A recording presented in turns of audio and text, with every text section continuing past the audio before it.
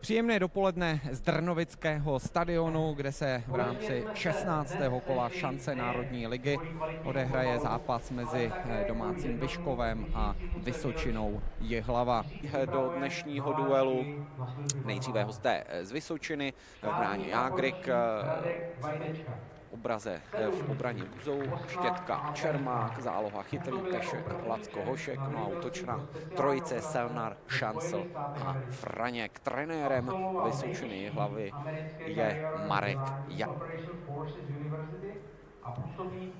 Vyškovští eh, nastoupí i dnes v bráně Eh, s Jiřím Borkem, reprezentantem do 21 let. Eh, obrana čelustka Vedral Štěrba Svoboda, záloha Lacík Piško, Ulbrich Novák a vpředu by měla operovat dvojce Bonu a Němeček.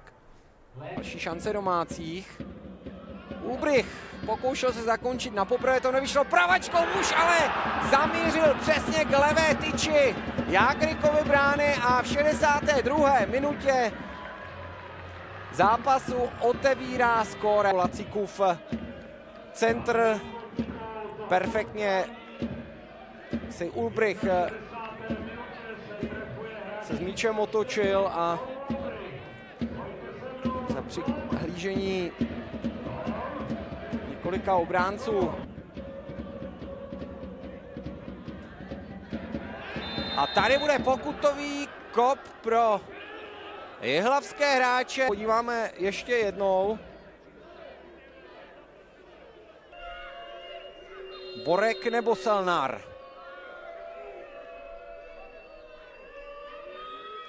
Selnar se už rozbíhá a míjí! Tíhu okamžiku to 24-letý ofenzivní hráč Jihlavy míjí branku Slovensku si zahrál nejvyšší soutěž za Slovan, za Nitru.